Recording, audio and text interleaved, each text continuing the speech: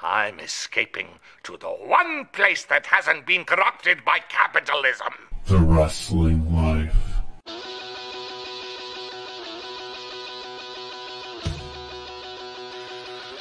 Hey everybody, it's The Wrestling Life. It's episode 330. 330. Uh, I'm Ethan. I'm Liam. Liam, so much to talk about this week. And as always, so many things we can't talk about right here on the first and only wrestling podcast. It's the second week of March, and we're on the road to WrestleMania, is what I was trying to say there, I think, and I forgot. I f- forgot how words work. Uh, but it is both of those things. It is the second week of March. We are on the road to WrestleMania. WWE has finally pulled a trigger in their bloodline Kevin Owens, Sami Zayn storyline as that uh, marches on. And uh, just how are we feeling generally about uh, the build to WrestleMania? Well, start talking more match by match as we uh, get into talking about what happened on Raw this week. But uh, just generally, how are you feeling about Mania build? Um, I have a, I think a general, I would say neutral to leaning towards slightly positive uh feeling. I don't feel like uh I don't feel like anything's particularly uh really grabbing me, but everything that they've set up so far seems like it will lead to a good wrestling match, which uh, you know, that's a pretty important part of uh, that because that's the uh that's the stake upon which you put all of this sizzle. So uh yeah, I mean, I would say I think they're doing all right. So, of course, the the headliner on uh, one of these two nights is going to be most likely the second night is Roman Reigns versus Cody Rhodes for the undisputed WWE Universal Championship. The real main event. Yes, they had both of them in the ring together, kind of for the first time at last week's SmackDown in Washington D.C. And they did a big crowd. There's no big crowds everywhere, but there's a big crowd in D.C. I was at a Raw in DC six years ago that had like 4,500 people there, and they had over 10,000 people there for uh for SmackDown on a Friday night. Uh, but uh, Roman and Cody, they're kind of slow playing that. But uh, the bloodline thing is still what is really kind of lighting people's worlds on fire, and they're slow playing that. And Kevin and Sami still haven't gotten back together yet, but Jey Uso finally turned on Sami Zayn after a swerve on Monday Night Raw this week. How'd you feel about how all that played out? I thought it was a I thought it was a very good segment. Um I uh yeah, I thought it, I thought it was good. I thought Jey uh Jey Jey did good work there. Like the actual beating itself was good. You you set up. I I have to imagine somewhere along one of these weeks here we're doing Cody, Kevin, and Sami against the Usos and Solo, or maybe even the Usos and Roman. Um, so having Cody get involved in there, so it's all kind of mixed together, I think is is uh, is a good idea. Um, uh, yeah, it's it's it's difficult for me because I sometimes I think there is a rush, and this is not just exclusive to WWE or to pro wrestling, even. I think um, when you are watching something, you want to sort of instantly declare it to be like the greatest thing of its generation or of all time. And yes. I think it's difficult to do that without any sort of historical perspective. Um, like waiting a few years, some things. Uh, so whether that's a wrestling match like the the Ospreay and Omega match that everybody loved this year, I liked it too. Um, you were there live for it. Um, or or this Bloodline storyline. I think it's good. I'm enjoying it. The twists and turns have been good. I think, as we talked about at the time, I would have maybe done this Jey turn like two weeks ago. Feel like we're still moving at a glacial pace uh, towards this, but everything they've done individually in a bottle, I think, has been pretty good. And we're we're slowly but surely putting these pieces together. So yeah, I think it's good. I think it's a little premature to declare it like the best storyline. I mean, it's probably the best storyline in WWE in a couple of years, but also like what kind of bar is that? It's like that's fair. Oh, it's yeah. better than Randy Orton versus Alexa Bliss. Wow, what a what a feather in in Roman Reigns' cap that he's pulled that off. Um, yeah, so it's good. I'm enjoying it. Um, I feel like we could pick up the pace a little bit, but overall, I think it's good. Uh, Specifically, what do you think of Cody and Roman segment? They're uh, no physicality. They're just Mhm. like uh, being catty with each other. yeah, it didn't feel like. And again, it's early still. We got a few more weeks here where they can get to the big. It wasn't like a big shove of the match. It was like a, I guess it was. It was what it was presented to be, which is these these two guys who have never really interacted before, or at least not in modern modern day. This version of Cody has never interacted with this version of Roman. Um, so it was a little bit of like feeling it felt like a feeling out process it felt like it was a little a little stilted in some places i didn't think there was like a great line like roman kind of has the little digs where he's talking about how you know dusty you know he he's you know the son dusty always wanted or whatever but i i, I don't know it didn't grab me it wasn't like immediately like oh my god i can't wait for wrestlemania when that segment was over it's like yeah okay these guys are both pretty good and they talked for a few minutes and then it was over. Yeah. Um, kind of tidy up the SmackDown side of the card here. Uh, Charlotte and Rhea Ripley. They, I don't know, nothing that they've done for this has uh, lit my world on fire so far. Although there still still are several weeks of television for them to fix that. But uh, Mhm. the Dom Charlotte thing, like in theory, I thought was a cool segment, but maybe in in in practicality, yeah, it didn't make me want to see Rhea Ripley wrestle Charlotte Flair. No, it was uh like yeah. There's a thing where like sometimes Dom being having negative charisma works for the character Yeah, in a weird way, and then there's sometimes when he's doing a segment like this where it really stands out that he should not be in long talking segments by himself. yeah, Um, and Charlotte is not someone, while I think she is very naturally charismatic, has never been a uh, you know a grade A talker herself. So Sure. pairing those two up uh, to go back and forth for an extended period of time was probably not the best idea. Uh, we will know Gunther's Intercontinental Championship opponent after SmackDown this week. There's a five way to determine who will face Gunther at WrestleMania. And I guess the kind of the cross brand match here is uh, Bob Lashley against uh, Bray Wyatt. And uh, boy, howdy. Literally. Yeah. Uh, turns out, um, uh, Uncle Howdy, I thought he was like a magic, invulnerable, spooky man, but uh, Bob Lashley just did wrestling moves to him and just beat his ass. So Yeah. turns out he wasn't that scary. I don't know what the LA Knight and everybody's been having so much trouble with over the last few months. Yeah. Nobody's just tried punching these guys. Very effective. Bobby Bobby Lashley has this phrase that he is using in every promo in this segment. It's uh kid games. Bray Wyatt, I'm tired of your kid games. Uh Captain Howdy, I'm tired of your little uh Uncle Howdy. You're tired of these little of your little your little kid games.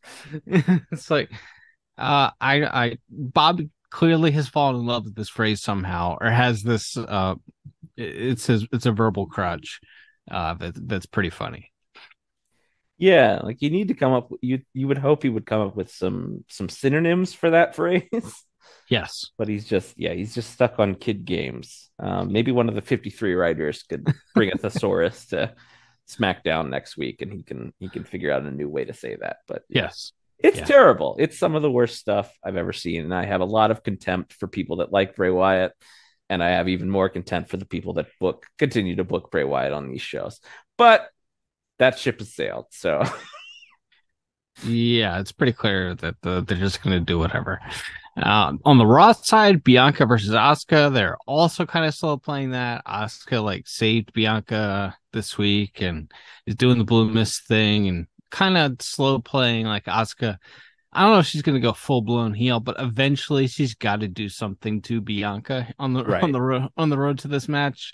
And we still got three weeks to get there or whatever, so they'll do that. That's fine. Brock Lesnar versus Omos. Oh boy, this is the match that Brock would rather have than than wrestle with Bray Wyatt. Okay, can't blame him no, no, you really can't. Uh, Seth Rollins and Logan Paul, they'll have a good match. Mhm. Look, uh, they finally uh, made that official on this past week's Raw. Um, Seth has gotten himself over his baby face, which is pretty uh, fascinating, given that he's uh, an extremely dull human being who, with a horrible gimmick, uh, Mhm. has somehow gotten himself over a baby face. But The Logan Paul, helps apparently. Yeah. yeah, very much so. People love sing song stuff, and Logan Paul is one of the most naturally unlikable human beings on the planet, uh, which also helps. Uh, Austin Theory and John Cena, big match. John returned to WWE this week. What did you think of their interaction on Raw? I think it's fascinating uh, that they chose, and again, maybe this. I'm guessing Cena doesn't get told no uh, when he wants what so, but they had a a little back and forth where they uh, Austin Theory took a shot at uh, Cena's bald spot, which is uh, you know that was a big no no in the Hulkster days. Which I mean, and Hogan was a lot more bald than than Cena is now. oh, much more. uh, but it was still a no no. So I was that was kind of funny. And then uh, Cena fired back by pointing out that uh, they pipe in crowd noise to all of Austin Theory's matches because nobody cares about him, which um, would be you know kind of a sick burn, but it's also uh, true. Um, nobody cares about this guy. He gets no reaction when he comes out, and they pipe in crowd noise very obviously for his matches. And I think it's fascinating to point that out if you're not going to stop doing that. Yep. Yep. Definitely a bizarre way to try to sell a match. It's not what I would have done. I'm not sure what I would have done. I probably wouldn't have booked these two together. Yeah, I mean, I mean, obviously they have decided. We've talked about this. They've decided Austin Theory is going to happen, whether anyone wants it to or not. Um, and that's fine. But it's it's one thing to just do like a fake it till you make it and pretend pretend that he's great and pretend that people care. It's Yes. another thing entirely to to have somebody uh, point out, hey, this guy sucks, and everybody thinks he sucks, and nobody cares about him. Um, yet you still get pushed on the show. It's very weird to do that. Uh, if you're trying to, if the end result here is uh, Austin Theory beats John Cena, um, which for Austin Theory's sake, you hope so. Um, uh, what is where do where do we leave that? Is that suddenly make him a, a real star after that? After he's beaten Cena, I guess that's the hope. But to me, it's like the night after WrestleMania, you're still gonna have the same problem. Once Cena's gone and and Theory is back to chin locking Dolph Ziggler or whoever he feuds with next. I can understand why why they want to go with Theory. I don't think he's bad. He kind of moves like a pro wrestler should move, Mhm. you know. Uh he's kind of good at some wrestling things. Um but like if I had in this analogy, um 1993 Hulk Hogan is John Cena and Austin Theory is 1993 Lex Luger in this analogy. It's like Mhm. I'm not sure I would have booked 1993 Lex Luger to beat 1993 Hulk Hogan. It's like the similarities are too. the match doesn't work for me because it's like, well, this guy is clearly just the next version of this guy, but you already had the superior version of this guy. so it's right. like, well, I, I don't know. That's just one of many reasons why I don't like this match. Mhm. But uh I mean, John ain't winning. It's like, but John's got to win one of these, right? right? He's just been coming back for for one or two matches a year now for for five years, and he loses all of them except for the uh, the SmackDown uh, tag match he did Right. last year. But I would like John to win a match once in a while. I think is what I'm trying to say. Yeah, I mean, theoretically, it would mean a little bit more the next time he did lose if he won one once in a while.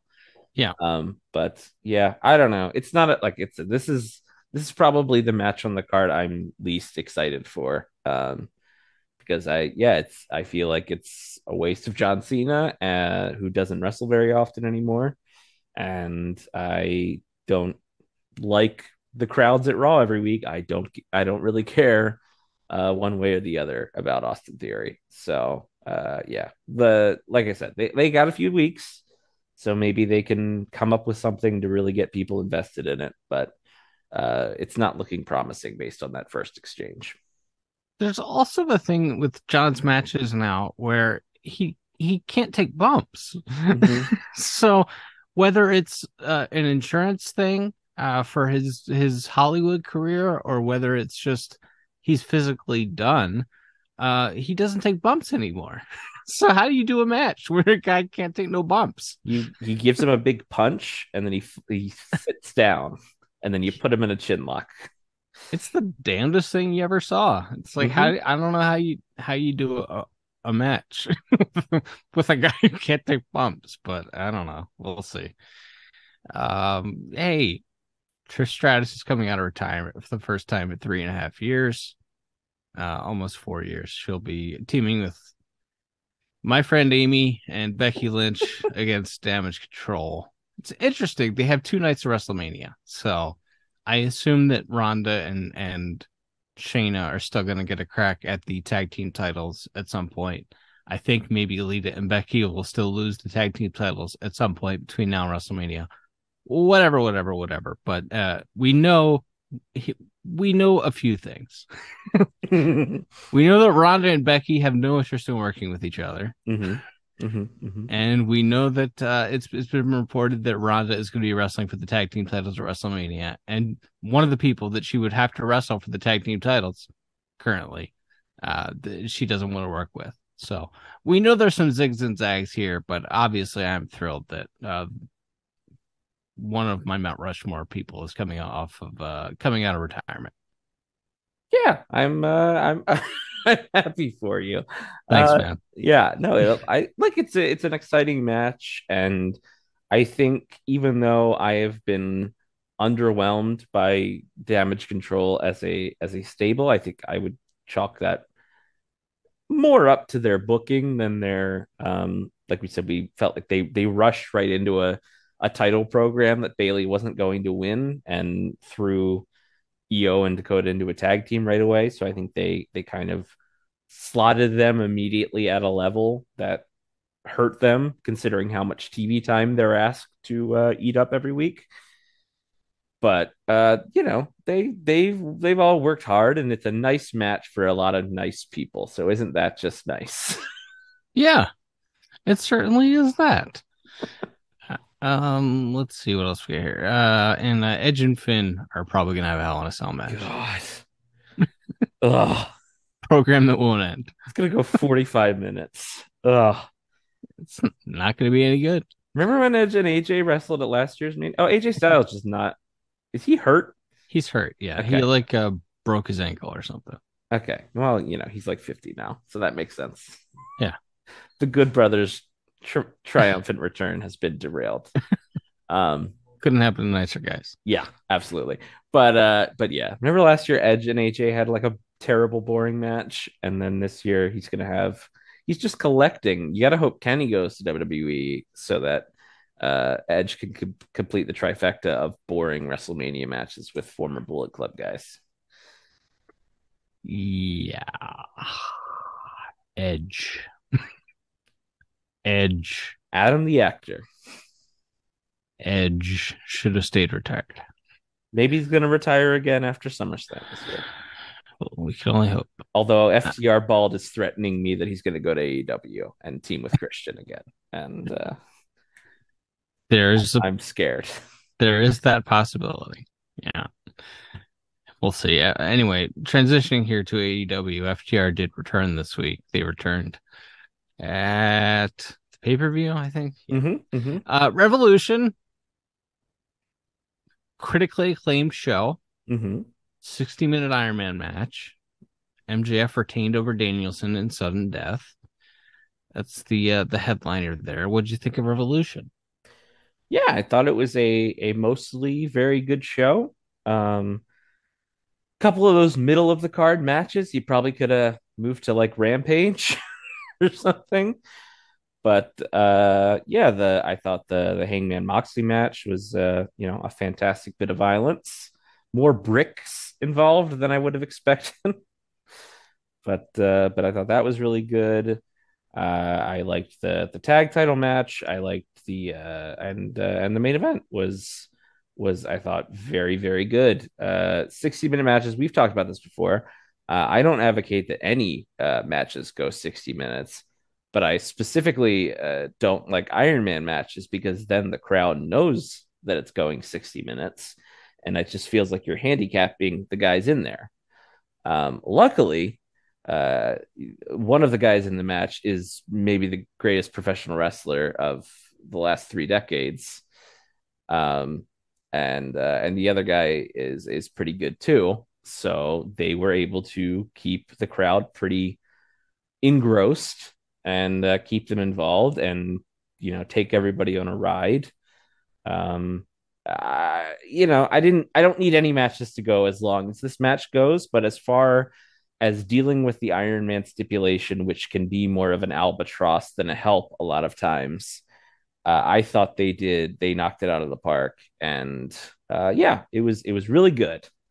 And then it was, and then I was like, oh, it's midnight, and I have to work in the morning. So Right. there is there is that part of it, which is again uh, par for the course with AEW's pay per views. Although normally they do run them on either holiday weekends or I think the November one is usually on a Saturday. So uh, at least usually I have one one day to recover after AEW shows, but not the case with this March one. So uh, a good show, probably too long, um, but a lot of very good wrestling. And it's not. This seems to happen a lot with AEW shows, which is the build going in is very lackluster, and people are kind of down on it. And then there's uh, you know some really fantastic wrestling on the show, and people that did buy the show feel like they got their their money's worth. So if you're asking people to spend 50 bucks uh, in this modern era on a show, you better deliver some really good wrestling beyond what you can see on any given Wednesday night. So, and I think they did that at least with the with the main event and maybe the the extra violence you got in the Moxley match. Isn't that kind of the story of AEW, by the way? Is that the creative kind of underwhelms everyone and then the in ring delivers? Yeah, yeah, absolutely. Which to me is a more desirable thing than the opposite. But it is it is a it is not a new problem for them, to your point. Sure. Uh, Ricky Starks beat Jericho and then was immediately moved into a feud with Juice Robinson. That crowd really thought when that Bullet Club song played, they thought it was Jay White. Boy, were guys. boy, were they wrong. Poor unfortunate souls. Uh, I like is- your friend Juice is fine. I, I don't mind Juice. he was very nice when I met him. He was Mhm. very nice. I love I loved his babyface run in in New Japan a couple years ago. I liked him when he was like the US champion. Um uh this version of Juice I I'll just say I haven't seen enough of this version of Juice to He's make a strong uh opinion. But also it feels like a guy he feels like he's a Bob Armstrong. like you know what I mean? Like there's a those guy or like a Hugh Morrus, like a guy that Brad Armstrong. or Brad Armstrong, yeah, whatever, Yeah. one of them, uh, one of the Armstrongs that just like hung around WCW and was v- very good and solid in the ring, but also it's like he wrestles almost exclusively on WCW Saturday Night. Yeah. It's like it's like yeah, Juice is good and he's a you know charismatic guy, but I don't really don't really see this as like a guy that's going to captivate the the larger television audience. Part of this specific gimmick is the problem because it's uh, it's comedy. he's screaming all the time in a in his Muppet voice about how about how he's rock hard. Mhm, It's like, well, that's comedy, and also they've beaten him every time he's ever been on AEW television. So, True. like, who like who could possibly care? Uh, the Jungle Boy defeated Christian Cage in a match that everyone seemed to like.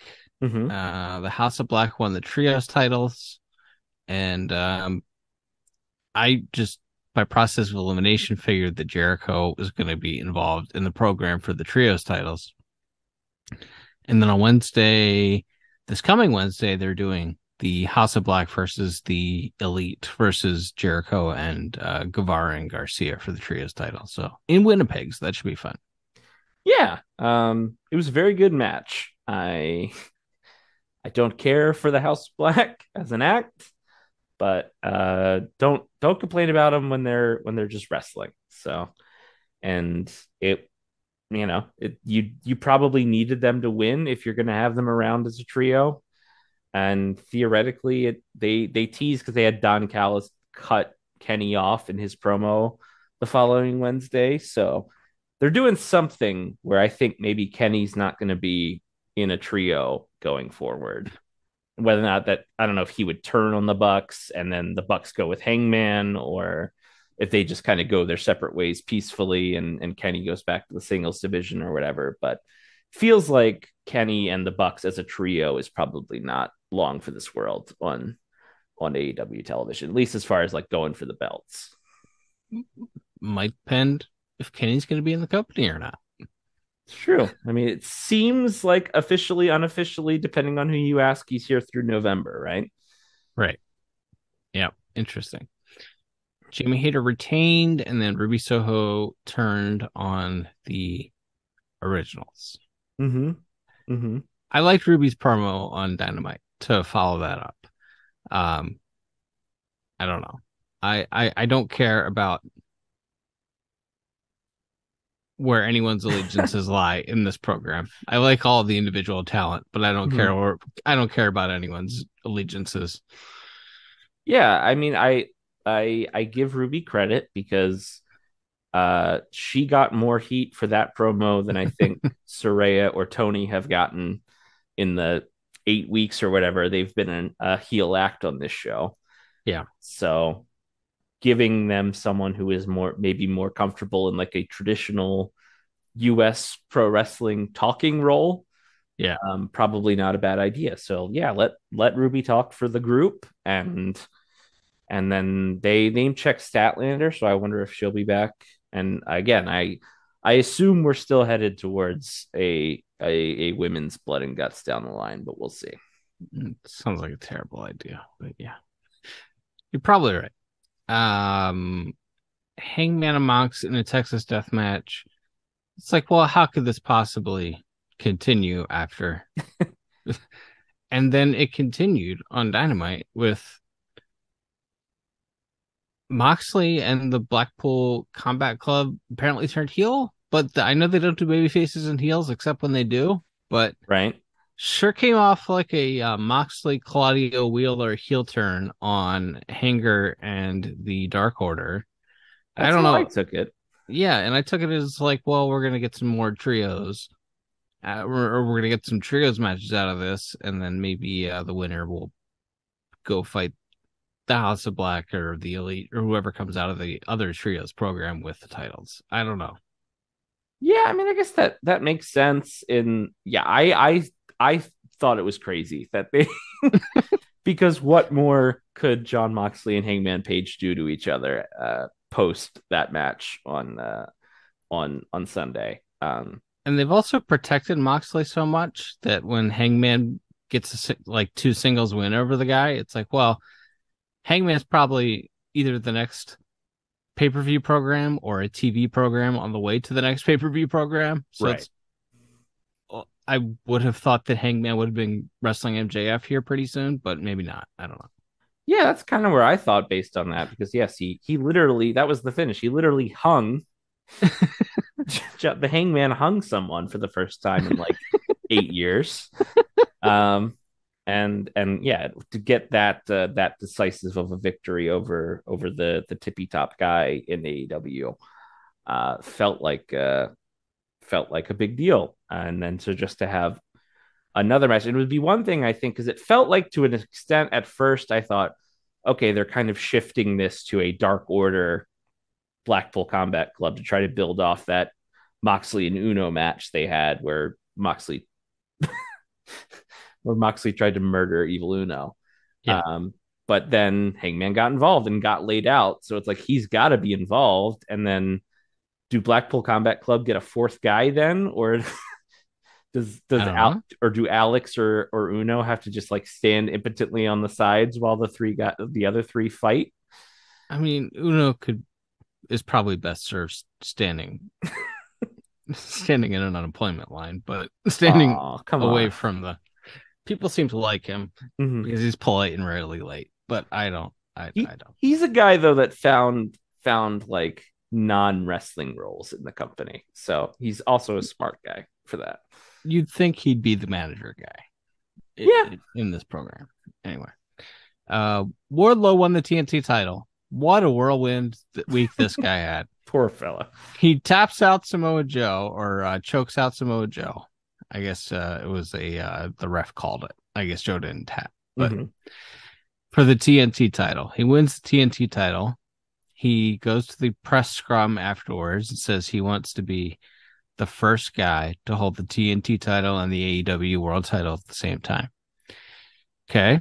Uh, Mhm. Tuesday, that's Sunday. That's that's Sunday night. He wins the TNT title, says he's going to be the guy. Tuesday night, he has his car broken into, and they steal everything he owns, including all of his gear Mm. and the TNT title.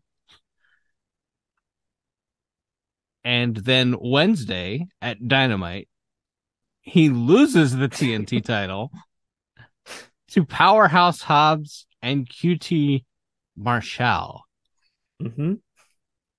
they they've cuckolded Wardlow again. Two years in a row, they've cucked this guy.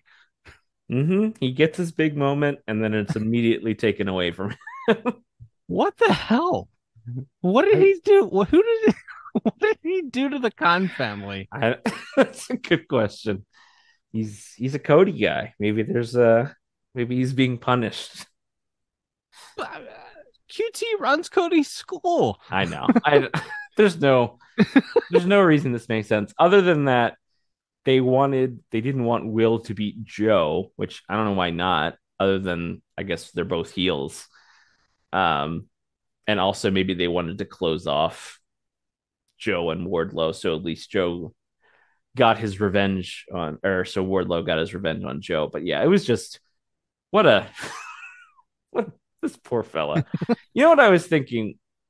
There's no going back, right? There's no toothpaste back in the tube for this. It's gonna be a long time, if ever, that you can rebuild Wardlow into like a top singles guy. But you know what AEW doesn't have right now? They don't have a Road Warriors like big musclehead tag team. Yeah. So put him and Lance Archer together. Just let him let him squash guys for a while and then build him up for whoever the tag champs are. I mean, it's a perfectly fine idea. Um, although I don't know why anyone would ever care to see Wardlow again after after after the way he lost, the fact that he lost, and the manner in which he lost on Yes. Dynamite. He got hit in the back like QT Marshall with the lightest chair shot you've ever seen, and then got kind of awkwardly power bombed off a stage, and uh, and got ten counted. He got ten counted in a falls count anywhere match. Yeah, also I didn't understand, or I've never seen that. That wa- finish. yeah, that was a real WCW or TNA thing where they just. Oh, by the way, this also has a a ten count rule now. Oh, all right. Do all matches have a ten count rule now? I, I, I don't know, man. Uh, I, I don't know. MJ uh, Danielson, like in a backstage promo that was taped on Sunday, uh, retired on this show, and he the said he's going home, which people think he's going to ROH. Which don't do that. Ugh. Don't waste the last full time years of the greatest wrestler of his generation's time on an honor club show. I beg of you. Ugh. It's not a good idea. That's not a good idea. And MJF, the uh, world champion, uh, also appeared on this show via pre-tape from Sunday. So interesting dynamite. Interesting dynamite. I was just cackling at the fact that they killed Wardlow the way that they did. It does feel personal. yes, they've Like- also they've also leveled up the. Sorry, I didn't mean to cut you off. If you want to talk more Mm-mm. about Wardlow, but they've also uh, leveled up the All Atlantic Championship. But thanks to Shazam, it is Thanks. now the International Championship. Thanks to Shazam Fury of the Gods in theaters March 17th and and AEW's partners at Warner Brothers Discovery, the All Atlantic Championship has been leveled up into the International Championship. Uh, yes, it's very exciting. I will say uh, they're giving me Jeff Jarrett versus Orange Cassidy, which is maybe my most anticipated match of this entire year so far. Um, so I'm very excited for that. And hey, if you looked at those ratings this week, not a great week for AEW. Good week if you're Orange Cassidy though, because people care about his matches, and those are those were like some of the only segments that went up as they went. Uh, was was that long match he had with Jay Lethal? He's been in the opening segment of the show for like four weeks in a row now, and that's the typically the highest rated segment of the show. So it's like, well, is that causation or correlation? I'm not sure. um, but uh, I really liked Orange and Lethal, uh, the match that they had on Dynamite this week. I thought it was really good. It's it's one of those matches that I think you could put that in like any era and any company, and it works. Yeah, maybe that's why I liked it because it wasn't so overtly AEW. That's fair. Yeah, I mean, but it that that kind of stuff sticks out. It's one of the things that why I think the the Cody verse was always so entertaining when he was in AEW. It was like it's so wacky and like completely its own thing and doesn't really jive with anything else they do.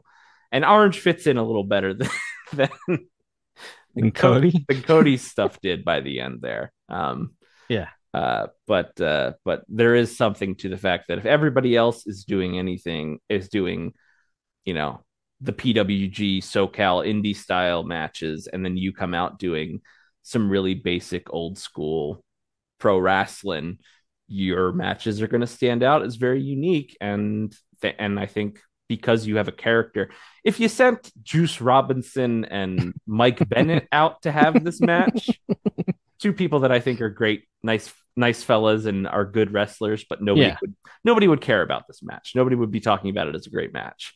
Right? But you had a character in Orange Cassidy that people care about, and Lethal, I think, by association with Jeff Jarrett, is people care about that act as well now more than they did when it was just Jay Lethal and and Sonjay by themselves, certainly.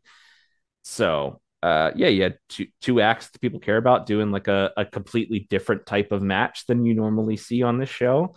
And uh, you know, crowd was into it and seemed like the viewers at home again, who knows? It's trying to predict television ratings uh, for wrestling in the modern era feels like a fool's errand but uh, it seemed like people people enjoyed it because it was different and because they care about orange cassidy as a character Orange more than held up his end of that match. By the way, like I know he's good, mm-hmm. but sometimes I'm not sure how good he is. as far as it being an in the ring technical pro wrestler, I'm not talking Mhm. about the character. The character's great, but sure he he more than hel- held up his end of that one. He was really good in that too. absolutely All right, going forward here, what else do we have to cover around the world? New Japan Cup's going on. No one cares about that. and uh, uh, Mercedes Mo- Moné's next opponent uh, will be AZM at uh, Sakura Genesis on April 8th. And then um, Mayu Iwatani on a Stardom show on April 23rd. There's talk of making that a three way. Um, but currently, uh, Mercedes Moné is uh has two more dates for sure with New Japan and Stardom uh next month. So uh yeah, that's what's new there. And I know you wanted to discuss that uh the XFL has a new tequila sponsor. i just i wonder it must have been a really tough negotiation uh, between Dwayne Johnson uh, and Dwayne Johnson as as after what I'm sure was bids from every major tequila brand. You know how sports leagues always have an official tequila brand. Um, well, this the XFL does, Sure. and that official tequila brand is Dwayne Johnson's tequila brand uh, for Dwayne Johnson's football league that uh, nobody seems to be watching or even aware of. But uh, you know, I assume this is in some way a tax shelter for Dwayne Johnson and Dany Garcia. So good for them. XFL ratings are not good, but uh, Dwayne is talking about how uh, they're so good that they're being moved to bigger to bigger networks. He's very online. For a guy who's so image conscious, it's been a, kind of a bad three or four months for for Dwayne as far as his image goes. I was gonna say it feels like yeah, it's one of those snowball things where I think norm like normal, not very online people still love Dwayne Johnson as a brand. Sure, sure.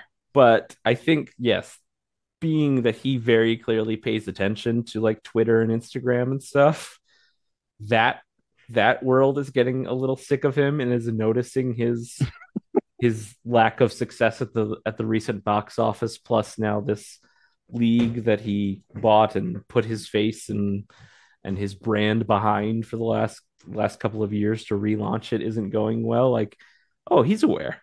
He's he's aware and he wants everyone to know that he's not mad about it. That's right. That's right.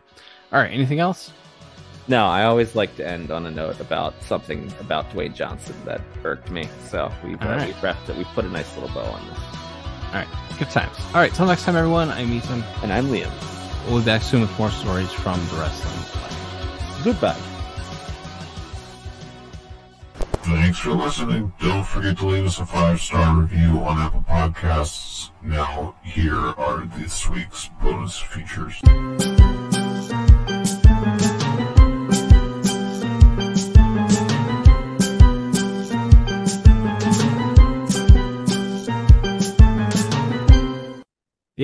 So, how's the life of the Podfather? Oh, you know, I'm just I gotta do I gotta do a bonus show this week because uh Amazon picked up the Batman show. I saw that. Yeah, which is, you know, it's good. Yeah. It's good that that has found life and that maybe that'll happen for some of these other, except for the ones that they wrote off for tax purposes. Those ones can't come out. But one of the animated films they canceled after it was finished leaked online earlier this week. So nice. Hey, maybe there's hope for that uh, Batgirl movie that's probably not even any good, but also had Michael Keaton and J.K. Simmons in it. So, you know, and Brendan Fraser. How bad could it have been? Right. Special Olympics winner Brendan Fraser. Right. We, we like to treat Brendan Fraser like he's a make a wish kid and he has two weeks to live. the Yoshihashi of Hollywood. oh, I just, yeah, when you go like, oh no, this Batgirl movie was so bad we couldn't release it. That's like, I mean, I've seen what DC movies ha- they have released. I've seen all of them. Right. Right. Most of them weren't very good. So right how bad could this one have been? But also, maybe don't spend eighty million dollars on a Batgirl movie that's going straight to streaming. Yeah, that seems like poor form. But then, what, then Netflix is spending 130 million dollars on romantic comedy that no one will watch. It's like that dril tweet about how much he spends on candles and his, his family's going bankrupt. Yeah. Someone, someone help me with my budget. and Like, spend less on candles. No. the problem is people sharing passwords. Clearly, it's not that we paid The Rock and Gal Gadot and Ryan Reynolds 155 million dollars to be in a movie that no one watched. Right.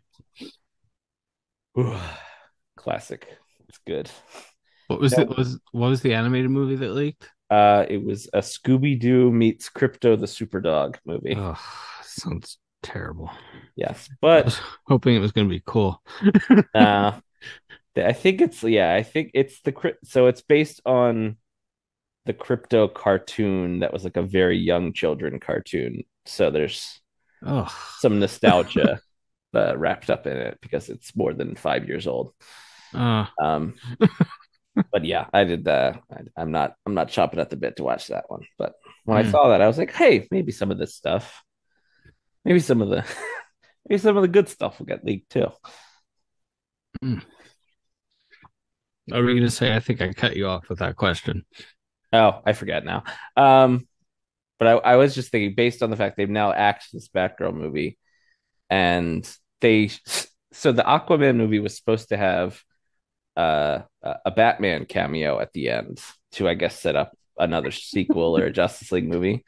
Uh, So they had Michael Keaton film it because at the time the plan was Keaton's going to be Batman in the main universe after the Flash movie. right. And then they're like, wait, we shuffled everything around. Aquaman's coming out first. So we need to shoot a scene with Ben Affleck instead. So they shot that. And now, not only is Aquaman coming out after The Flash again, probably neither of those scenes are going to be in Aquaman because the universe is ending.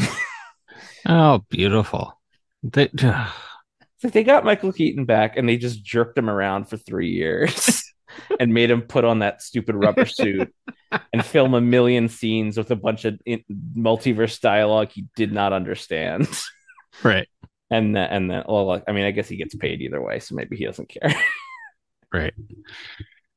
I mean, there's a quote from him where he's like, uh, someone asked him if he regretted not doing the third, uh, what became Batman Forever. And he was like, um, no. But there was there was this time where a friend of mine was going in on a real estate thing and I didn't have the bread. So uh, you know, I kind of wished I had done it then, but that's the only time. It's not a bad Michael Keaton yet. You got Thank you. there. Thank you. I gotta I gotta work on it a little bit. He's just he feels he's a jazz man, I feel like. He's like he's really Yep. he's vibrating at a different uh not at not at a normal uh, frequency like the rest of us are. There's like a little there's a little bit of a, a weird tilt to to your head when you talk like Michael Keaton. Yes, a hundred percent, a hundred percent.